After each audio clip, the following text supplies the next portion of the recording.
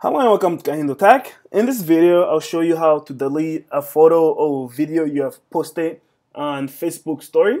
So let's begin. We'll start off by opening up the Facebook app. Once you have it open, go to the story that you, uh, the post in story that you would like to delete. And as you can see on the top left corner, it says story. That's where you uh, all your stories are at. The first circle, as you can see, is white and has a blue plus in the middle. That's where you upload stories. And underneath that, it says your story. But the second circle that says that also says your story actually has something in it. Okay, so tap on the second circle that says your story, not the first one. Here I'm viewing the story that I previously posted. To save this, uh, to save this post that I made, do you see on the upper right corner where there's like the X and there's also those three little dots? Tap on those. Once those come, once you tap that, you see a menu that will come up, okay?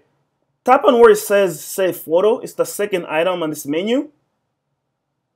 And there you go. That's how you save a story from a picture or video from a story into your phone. It's pretty easy, but if you have any other questions or comments, please leave them in the comment section below. If you like the video, give it a thumbs up and definitely subscribe to my video for more to my channel for more videos like this. Thank you for watching.